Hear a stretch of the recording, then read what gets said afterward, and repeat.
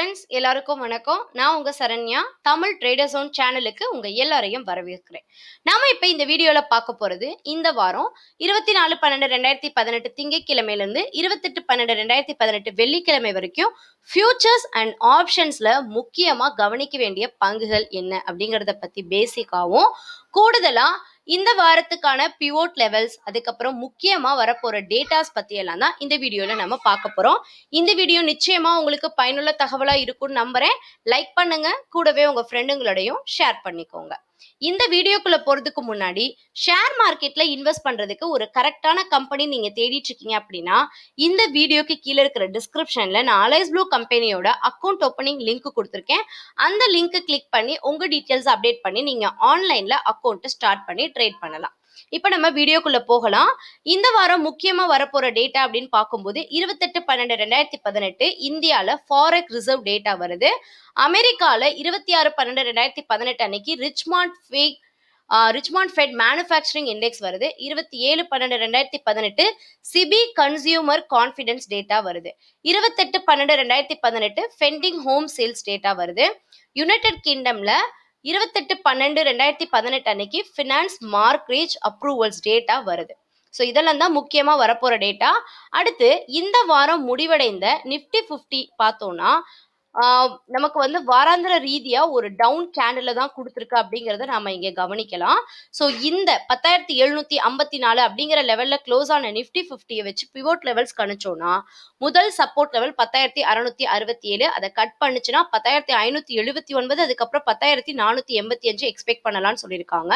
அதே மாதிரி ரெசிஸ்டன்ஸ் அப்படின்னு பார்க்கும்போது மார்க்கெட் பாசிட்டிவிட்டியா ஆரம்பிக்கப்பட்டு பத்தாயிரத்தி தொள்ளாயிரத்தி பதிமூணு அப்படிங்கிற லெவலை கட் பண்ணா மட்டும்தான் அடுத்த கட்டமா பதினோராயிரத்தி எழுபத்தி ரெண்டு செகண்ட் ரெசிஸ்டன்ஸ் ஆகவும் பதினோராயிரத்தி நூத்தி அறுபத்தி ஏழு தேர்ட் ரெசிஸ்டன்ஸ் ஆகவும் எதிர்பார்க்கலாம் அப்படின்னு சொல்லியிருக்காங்க. அடுத்து நம்ம கவனிக்க வேண்டியது பேங்க் நிஃப்டி ஸோ இதுவும் வ- வாராந்திர ரீதியா ஒரு டவுன் கேண்டில் தான் நமக்கு வந்து நெகட்டிவ் ரெட் கேடல தான் ஃபார்ம் பண்ணியிருக்கு அப்படின்னு சொல்லலாம்.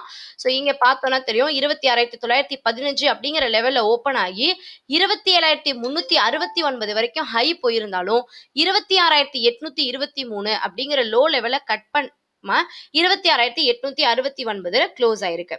ஸோ இதை பேஸ் பண்ணி நாம பிவோட் லெவல்ஸ் கணிச்சோம்னா பேங்க் நிஃப்டியில இருபத்தி ஆறாயிரத்தி அறுநூத்தி எழுபத்தி ரெண்டு அப்படிங்கிற சப்போர்ட் லெவலை கட் பண்ணாத வரைக்கும் நம்ம எதிர்பார்க்கலாம். சப்போஸ் கட் பண்ணுச்சுன்னா இருபத்தி ஆறாயிரத்தி நானூத்தி எழுபத்தி அஞ்சு அப்படிங்கிறது ஃபர்ஸ்ட் சாரி செகண்ட் சப்போர்ட் லெவலாகவும் இருபத்தி ஆறாயிரத்தி அறுநூத்தி இருபத்தி ஆறு தேர்ட் சப்போர்ட் லெவலாகவும் இருக்குன்னு சொல்லியிருக்காங்க. அதே மாதிரி இருபத்தி ஏழாயிரத்தி இரநூத்தி பதினெட்டு அப்படிங்கிறது ரெசிஸ்டன்ஸ் லெவலாக கொடுத்துருக்காங்க. செகண்ட் ரெசிஸ்டன்ஸ் இருபத்தி ஏழாயிரத்தி ஐநூத்தி அறுபத்தி ஏழு தேர்ட் ரெசிஸ்டன்ஸ் இருபத்தி ஆறாயிரத்தி எழுநூத்தி எழுபத்தி அஞ்சு.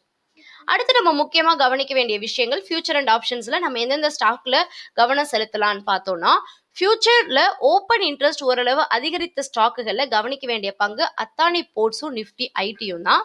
அடுத்து ஃபியூச்சர்ஸ் அண்ட் ஃபியூச்சர்ஸில் ஓப்பன் இன்ட்ரெஸ்ட் ஓரளவு குறைந்த ஸ்டாக்குன்னு பார்க்கும்போது Adani power Suzlon ITC south bank IOC IDFC bank Idea JP associate RCom SBI bank Punjab national bank GMR infra Tata motors coal India Reliance அதுக்கப்புறம் ஜேஎஸ்ஏ ஜேஐஎஸ்எல் அதுக்கப்புறமா futures விலை பிரீமியத்தில் முடிவடைந்த சில ஸ்டாக்குங்களில் கவனிக்க வேண்டிய பங்குகள் Bank Nifty Page Industries Bosch Limited Nifty IT Maruti Shree Cement Nifty Britannia Bajaj Auto HDFC Bank SRF TCS IndusInd bank Kotak bank அதுக்கப்புறமா ஹிந்துஸ்தான் யூனிலீவர் ஃபியூச்சர்ஸ் விலை வந்து டிஸ்கவுண்டில் முடிந்த சில ஸ்டாக்குகள் அப்படின்னு பார்க்கும்போது நிஃப்டி மிட் கேப்ல நிஃப்டி மிட் ஃபிஃப்டியை நம்ம கவனிக்கலாம்னு சொல்லியிருக்காங்க.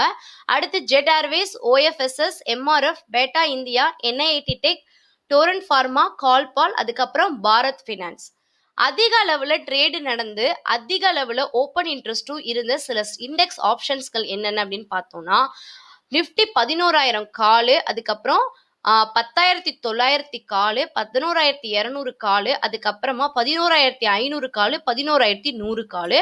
புட் ஆப்ஷன்ல பார்க்கும்போது பத்தாயிரம் புட்டு பத்தாயிரத்தி ஐநூறு புட்டு அதுக்கப்புறமா பத்தாயிரத்தி இரநூறு புட் ஆப்ஷன் அதுக்கப்புறம் பத்தாயிரத்தி எழுநூறு put option put and call ரேஷியோவில் கவனிக்க வேண்டிய சில பங்குகள் என்னென்ன அப்படின்னு பார்த்தோம்னா Berger Paint Manappuram Castrol Oil Industry India அதுக்கப்புறம் Oil KSCL Ramco Cement Godfrey Phillips Srei Infra R Power India Bulls Housing Finance Chennai Petro PFC UltraTech Cement company அதுக்கப்புறமா Marico SRT SR Trans Finance அதுக்கப்புறம் Dish TV Bank Nifty Power Grid அதுக்கப்புறம் Adani power. So இப்போ பார்த்தா இந்த பேசிக்கான informations எல்லாமே நிச்சயமாக உங்களுக்கு பயனுள்ள தகவலாக இருக்கும்னு நம்புகிறேன் லைக் பண்ணுங்கள் உங்கள் ஃப்ரெண்டுங்களுக்கும் இது பயனுள்ள தகவலாக இருந்தால் ஷேர் பண்ணுங்கள் இந்த வீடியோ பற்றின கருத்தை கீழே இருக்கிற கமெண்ட்டில் மென்ஷன் பண்ணுங்கள் நீங்கள் கொடுக்குற கருத்தை பொறுத்து தான் இது வேல்யூபிளான இன்ஃபர்மேஷனா இதை தொடர்ந்து நம்ம பதிவிடலாமா அப்படிங்கிற ஒரு ஐடியா கிடைக்கும். ஸோ இதே மாதிரி பயனுள்ள தகவலோட அடுத்த வீடியோவில் உங்களை சந்திக்கும் முறை உங்களிடமிருந்து விடைபெறுது உங்கள் Saranya.